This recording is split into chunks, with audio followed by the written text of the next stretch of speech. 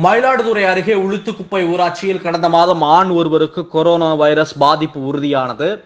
இதனால் அந்த பகுதியை வருவாய்த்துறையினர் சீல் வைத்தனர். இந்நிலையில் வைரஸ் பாதிக்கப்பட்ட நபர் குணமடைந்து வீடு திரும்பியுள்ளார். இதனால் கொரோனா இல்லாத கிராமமாக மாறியுள்ளது. இதனை முன்னிட்டு கடந்த இருபத்தோரு நாட்களாக கிராமத்தில் முகாமிட்டு சுகாதார பணிகளை மேற்கொண்ட மருத்துவர்கள் செவிலியர்கள் தூய்மை பணியாளர்கள் அங்கன்வாடி பணியாளர்கள் காவல்துறை அதிகாரிகள் ஆகியோருக்கு நன்றி தெரிவிக்கும் வகையில் உளுத்துக்குப்பை ஊராட்சி மன்ற தலைவர் ராஜ்குமார் அவர்களும் கிராம மக்களும் வரிசையாக நின்று அவர்கள் மீது மலர்களை தூவி கைத்தட்டி வாழ்த்து தெரிவித்தனர்.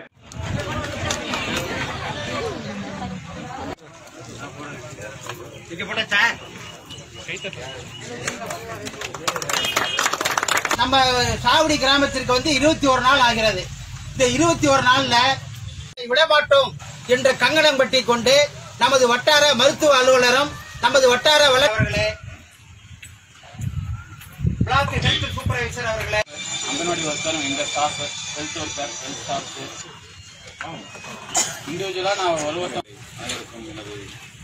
உளுத்துக்குப்பை ஊராட்சி சார்பில் அனைவருக்கும் பொன்னாடை போர்த்தி கருவிக்கப்பட்டனர். நோய் தொற்று நீக்கியதை உளுத்துக்குப்பை ஊராட்சி மக்கள் கொண்டாடும் வகையில் மருத்துவர்கள் செவிலியர்கள் காவலர்கள் வருவாய்த்துறையினருக்கு பிரியாணி விருந்து வைத்து மகிழ்வித்தனர்.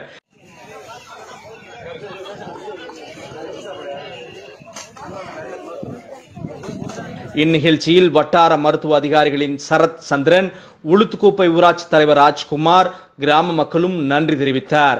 இந்நிகழ்ச்சி மயிலாடுதுறை வட்டாட்சியர் ஊராட்சி ஒன்றிய ஆணையர் வட்டார சுகாதார மேற்பார்வையாளர் மற்றும் அரசு அதிகாரிகள் பலர் கலந்து கொண்டனர்.